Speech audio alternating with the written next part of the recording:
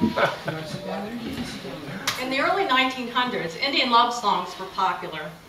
So record producer and composer Kerry Mills adapted a classical German number and wrote Red Wing. Uh, the words were by Thurland Chattaway. They were changed over the years uh, for political statements and even some bawdy lyrics were added to this haunting melody. However, in 1961, John Wayne and Lee Marvin sang the original love song in the movie Comancheros. And not to be outdone by John Wayne, we're going to sing the original Red Wing. uh, what do you think, Pilgrim? And we're not going to sing in the key of John Wayne. There